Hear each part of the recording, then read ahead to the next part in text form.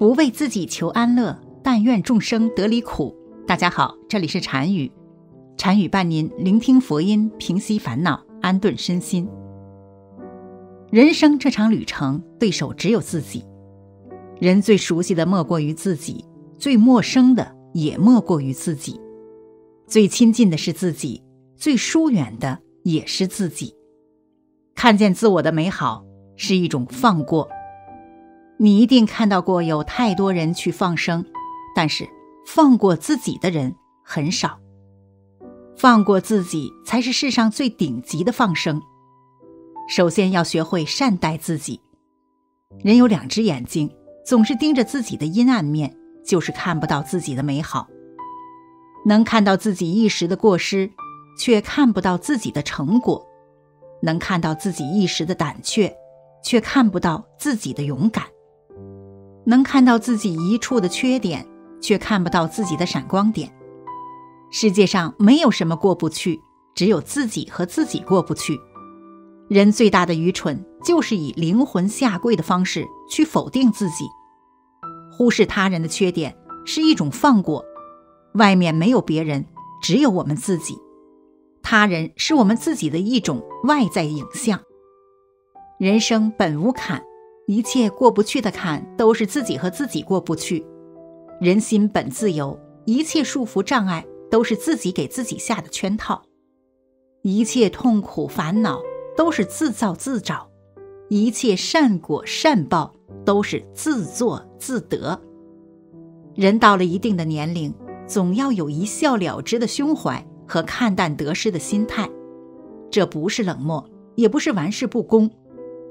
对他人的理解，对放手的释怀，是一种解脱羁绊的智慧。作家一书说过，一个人真正成熟的标志，就是发觉可以责怪的人越来越少。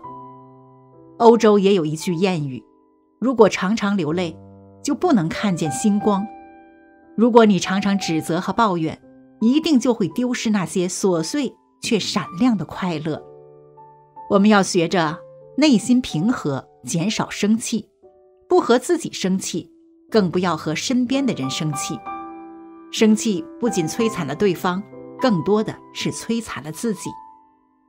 能够看到自己的缺点，就会对别人的过失多一份宽容；能看到自己的吝啬，就会对别人的贪欲多一份理解。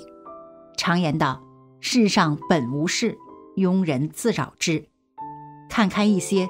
心就没那么累了，回归清净无染的内心，诸恶莫作，众善奉行，利益众生，使得善报。佛说，这个世界最好的放生就是放过自己，不要和往事过不去，因为它已经过去了；不要和现实过不去，因为你还要过下去。来者要惜，去者要放，走不出自己的执念，到哪儿都是囚徒。人最强的时候，不是坚持的时候，而是放下的时候。当你选择腾空双手，还有谁能从你手中夺走？不执着于物念是一种放过，不以物喜，不以己悲，得失随缘，随遇而安，生活便会云淡风轻。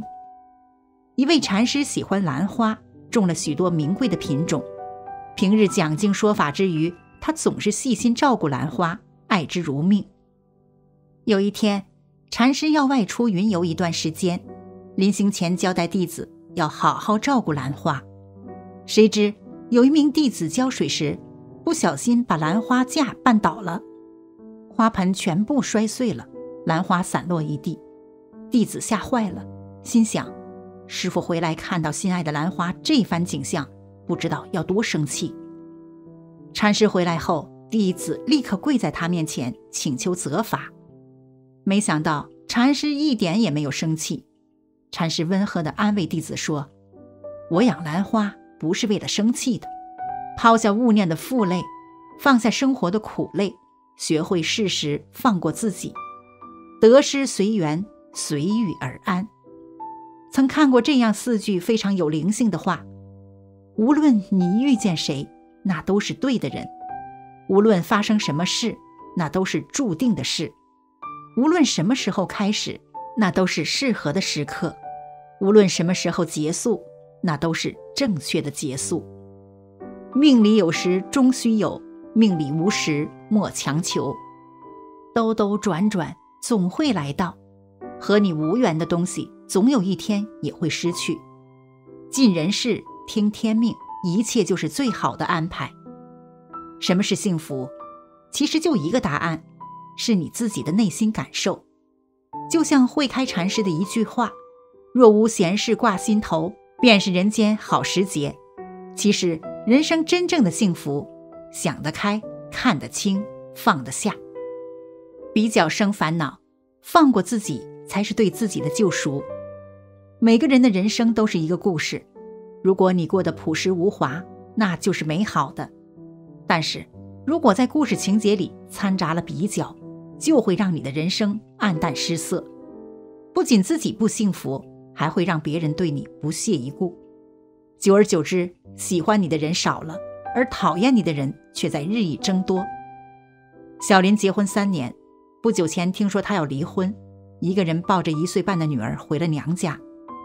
听小区里的大妈们说，是因为小林不会过日子，男方提出了离婚。原来小林结婚后总是和闺蜜比吃穿、比住行、比闺蜜用的品牌口红、穿的名牌衣服，只要是看见了就得买到手，成天就是买买买。其实她花钱的方式，她的老公和婆婆也提醒过她，可她根本听不进去。小林比较的心一直在兴风作浪，她难以控制自己和别人比较之后的消费，因为她总和别人比。时间长了，婆家人就开始讨厌她，就连闺蜜也都用鄙视的眼光看她。小林很苦恼，想回去，婆家人又不认可，只得待在娘家耗着。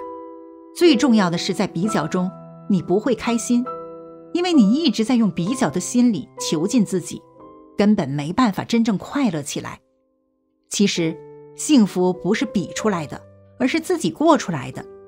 目光总是放在别人身上，永远活在他人的世界里，用别人的条件约束自己的灵魂。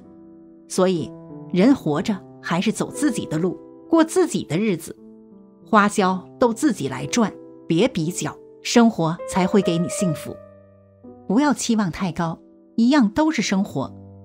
作家马德说：“我慢慢明白了为什么我不快乐，因为我总是期待一个结果。”人如果减少期待，就是对灵魂的自律；而减少对灵魂的施压，才是放过自己，人生才会快乐。生活中对别人期待太高是一场灾难。一九六五年，美国将军斯托克戴尔在战争中被俘，受尽了折磨，直到八年后才被放回国。当时许多比他身体好的战俘都没熬住，而他却能挺到被放。当有学者采访他，问他是怎么度过这八年的，他回答说：“我之所以能活下来，是因为我对未来没有太高的期待。现实生活中，如果你真的实力可以和期待相辅相成，就会等到你预期的结果；而如果你没有实力，你的期待就会让你大事干不了，小事不想干，结果一事无成。世界上的任何一件事情。”如果努力，都会有成功的机会。每一件事情，只要沉淀下来，安静下来，用心去做，总会得到你想要的美好。所以，不要期望太高，一样都是生活。放生之法良多，含义更多。遇动物受困受害，想办法放它们一条生路，是为放生。选择素食，不在鱼肉餐桌上大快多颐。是为放生，待人接物不斤斤计较，不与人争是非长短，是为放生；不自怨自艾，既不妄自菲薄，又不居高自傲，是为放生。诸多放生之法，说起容易，完全做到却是很难。只有深入佛法所讲的如来藏真理，真正搞懂我与万事万物是什么关系，当明白万法。都是我一人一念之所变现时，才是一劳永逸、最直接、最终极的放生。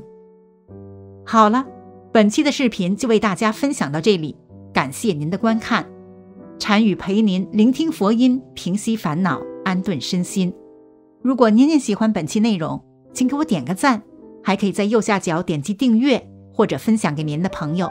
您的支持是我最大的动力。咱们下期再见。